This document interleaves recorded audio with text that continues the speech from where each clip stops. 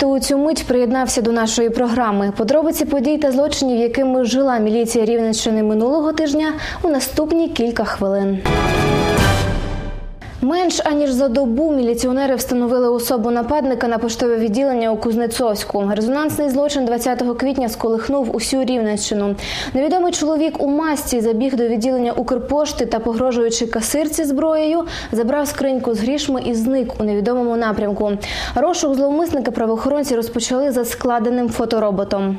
Усі події розгорнулися в одному із поштових відділень міста атомників. У той час там було порожньо, та нікого не було, окрім касира. Злочинець заздалегідь усе спланував.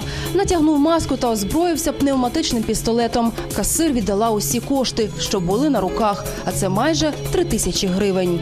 Хлопчина спланував цей злочин майже місяць тому. Е, Йому потрібні були кошти на власні витрати, а переважно це на, на розваги, як сам потім пояснив зловмисник. Хлопець майже добу переховувався від правоохоронців за допомогою складеного фоторобота. Його затримали. Зловмисником виявився 17-річний місцевий мешканець. Е, Сам він е, навчається ще в школі. Щоправда, вчителі відгукуються про те, що він прогулював весь час на навчальне навчання. Під час огляду у нього за місцем проживання міліціонери вилучили речові докази, які вказують на причетність його до розбійного нападу. Відомості про подію внесені до єдиного реєстру досудових розслідувань. Відкрито кримінальне провадження за статтею розбій. Наразі вирішується питання про обрання щодо хлопця запобіжного заходу тримання під вартою. Натрапив на снаряди. Дільничний інспектор міліції під час операції візит у Радивилівському районі. Небезпечну вибухівку у сараї свого господарства зберігав житель села Жовтневе. Чоловік знайшов боєприпаси у себе на присадибній ділянці, однак знешкоджувати їх не поспішав. Під час подвірного обходу люди розповіли своєму дільничному, що один із місцевих жителів може зберігати у своєму підсобному господарстві боєприпаси. Під час візиту була здобута інформація, е, що житель села Жовтневе 63 року народження у своєму господарстві зберігає снаряди Великої вітчизняної війни. Снарядів знаходився на пеньку, е, надіт, е, снаряд знаходився надітий на пеньку і був стромлений в землю. До села Жовтневе відразу ж направили слідчо-оперативну групу з числа експертів вибухотехніків науково-дослідного експертно-криміналістичного центру при УМВС. В господарстві громадянина було виявлено е, три корпуса артилерійських боєприпасів 76 мм, які заповнені речовиною схожою на вибухову. Дані об'єкти віднесені до категорії небезпечні. Проводяться по них експертизи. Вони могли і являються вибухонебезпечними і могли становити небезпеку для населення.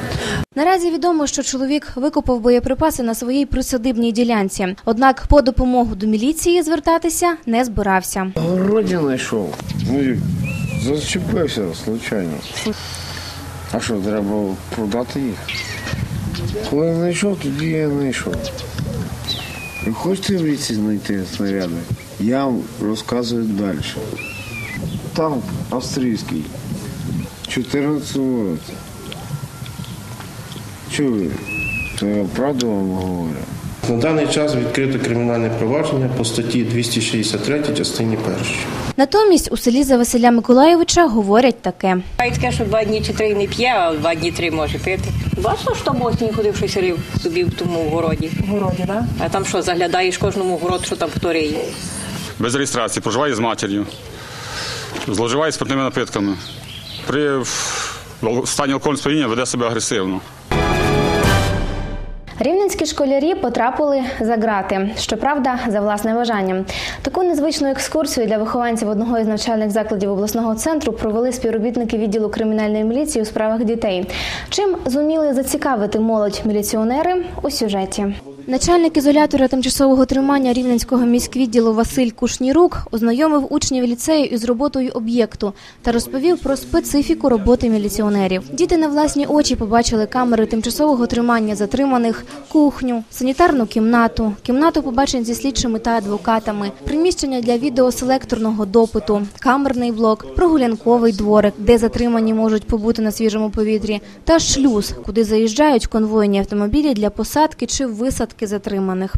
З ізолятора тимчасового тримання екскурсанти прослідували до чергової частини міськвідділу, де у школярів виник шквал запитань від телефонів екстрених служб до порядку дії чергових під час отримання повідомлення. Та найбільше учнів вразив той факт, що по місту розташовані камери відеоспостереження, монітори яких виведені до одного кабінету, у якому власне дітям і довелось побувати. По завершенню екскурсії годі було вгамувати шквал емоцій, які вона викликала у школярів. Ну мені дуже ну якби ну там міліції мало що може подобатись, але ну мені е, сподобалась кімната слідчого Ш- і сподобалось те, що е, якби, е, якби ці заключені вони можуть е, спілкуватися по скайпу, ну коли вони е, коли йде слідство.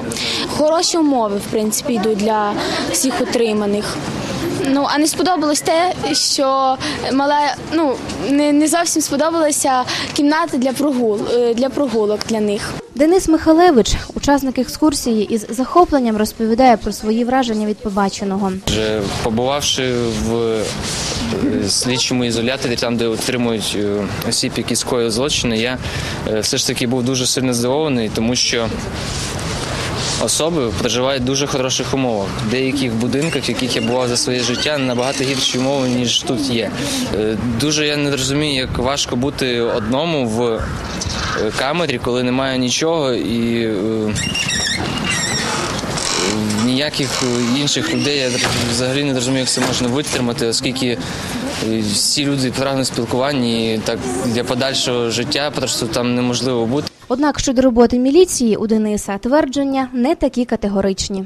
Ну, краще сюди не потрапляти як е, засуджений, але як співпрацівником тут бути, мені здається, дуже добре, тому що все ж таки міліція робить все те, е, щоб наше життя в Україні е, було набагато кращим.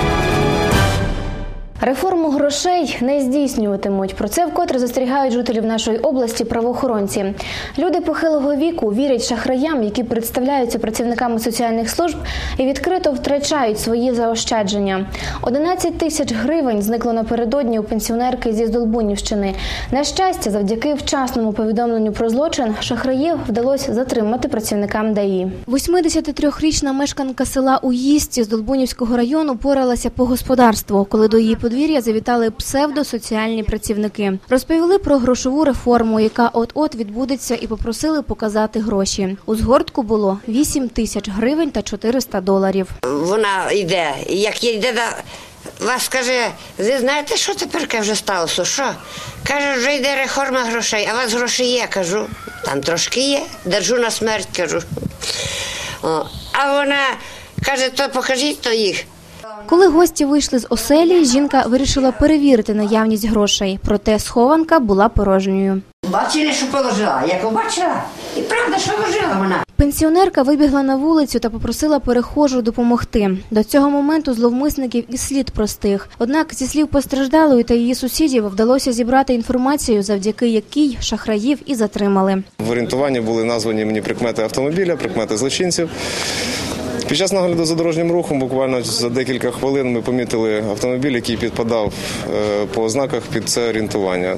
Е, Мій колега зупинив даний автомобіль. Ми почали ретельно перевіряти е, даних громадян, які знаходилися в цьому автомобілі.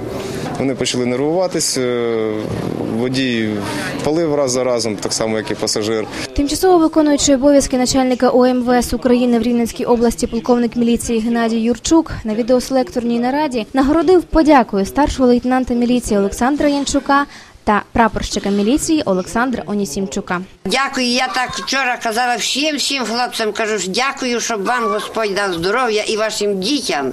Нехай вам Бог дає здоров'я, многі літа, і вам, і вашим дітям. Щоб 16 квітня в УМВС України в Рівненській області відбулась колегія за підсумками діяльності упродовж трьох місяців поточного року. Окрім визначення подальших пріоритетів у діяльності міліції Рівненщини, були прийняті і кардинальні посадові рішення. Зауважень дуже багато було до роботи в першу чергу спецпідрозділів УБОЗ, ДСБС і по лінії наркоманії. Зауваження до роботи зазначених служб міліції у Рівненській області висунув міністр внутрішніх справ на підсумковій колегії міністерства у Донецьку. Ще одним важливим питанням, на яке зверталась особлива увага того дня, була і діяльність міліції в умовах нового кримінального процесуального кодексу України. У цьому плані у нашій області покращення. Тим слідство непогано працює. Недоліків менше, ніж по іншим підрозділам.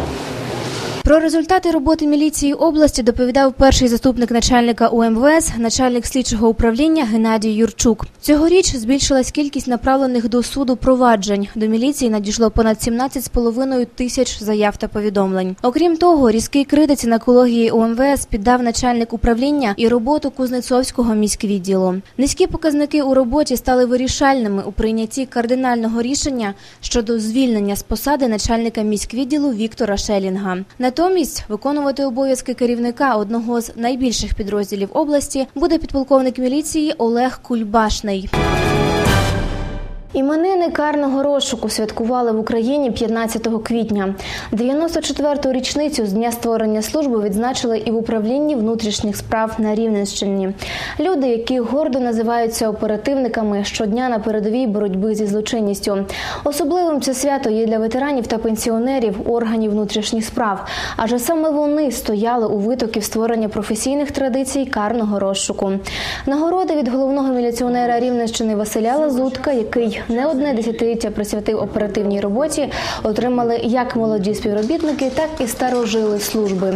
Зустріч з побратимами, спогади про міліцейські будні та настанови від професіоналів своєї справи. Цей день був повен емоцій та теплих вражень. А в додаток до щирого спілкування ще й пісні про міліцейське сьогодення, які не раз дарували учасники колективу управління вартові. Саме головне, щоб молоді звертали увагу на пенсіонерів, на ветеранів не тільки раз в рік, а постійна увага була. Побажання, щоб їх е, дружини, батьки, е, мат- матері чекали вдома, а вони завжди повертались в доброму настрої, в гуморі, і щоб відчували від цієї служби завжди позитивний якийсь момент. Дуже приємно і хочу сказати одне, що я від свого імені, від імені всіх ветеранів, які сьогодні є, вітаємо. Бажаємо крепкого здоров'я, віри, наснаги, любові, щоб вони знали, що такий день 15-го, як кажуть, завжди є. А молодим я бажаю здоров'я, щастя, наснаги і щоб їх це поважали дружини. Дружини, щоб дружини розуміли, де вони працюють. І на сьогодні це усі новини. Більше інформації шукайте на нашому сайті. Бережіть себе та своїх рідних. Із новими подіями та сюжетами побачимось за тиждень. Дякую, що залишаєтесь із нами. Хай щастить.